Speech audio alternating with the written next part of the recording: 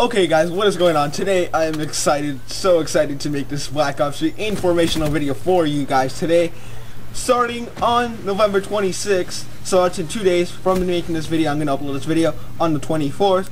November 26th to the 30th, 10 a.m. PST to 1 p.m. Oh uh, no, starting at 10 a.m. PST, there will be double weapon XP weekend on Black Ops 3. I told you guys. It's so annoying just because I just made a video. My video is literally rendering right now, the one that I'm gonna upload and you're gonna see before this. I was talking about maybe double crypto key weekend, maybe double weapon XP weekend. I was confused. I didn't know what to choose. I didn't know which one it would be and I gave you guys some suggestions, maybe what it could be.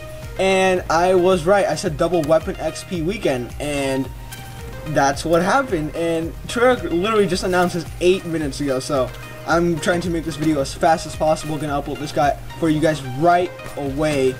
Hopefully you guys enjoyed this quick, quick video. Double weapon XP weekend. Make sure to get on that grind. I know on the other video I said it was probably kind of useless and annoying and irrelevant. But this is gonna be awesome. I mean, you're gonna work on the diamond camos.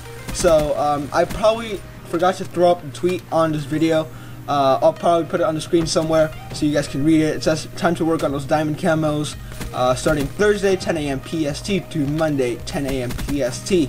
So double weapon XP, that's still a good thing because it's technically double XP also because you're gonna get the XP you get for the challenges are gonna be double um, double points. So you're still getting some double XP, so that's pretty pretty solid.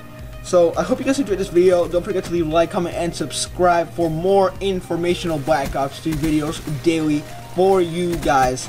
Hope you guys enjoyed it. Don't forget to like, comment, and subscribe for the second time. I, what am I doing? See you guys next time. Have a fantastic day. Peace out.